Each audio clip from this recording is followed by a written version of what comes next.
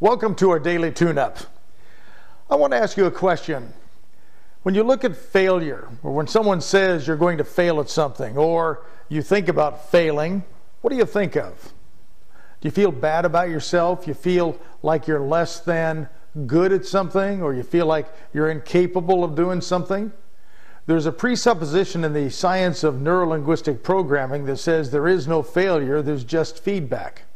And one of the things I want you to think about today and really practice, I want you to stretch yourself farther than you usually do on a weekday.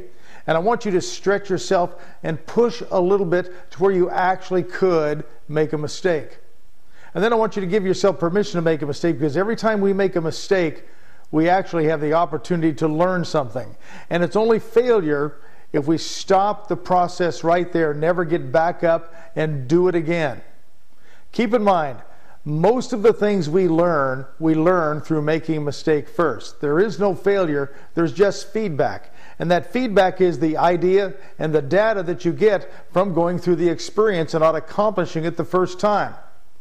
When I teach my neurolinguistic programming classes, or when I'm working with a client, many times people are upset because they're not perfect at what they do the first time through. It's like if you go learn a new language, you certainly don't expect to speak it the first day you learn about it. It takes a little practice, a little finesse, a little bit of doing it, and then all of a sudden you find yourself getting better and better at it.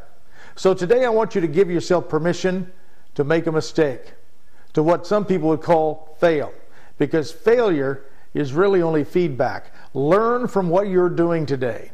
And if you have an open mind of being willing to push yourself a little bit farther, what's going to happen is you're going to do better at what you do.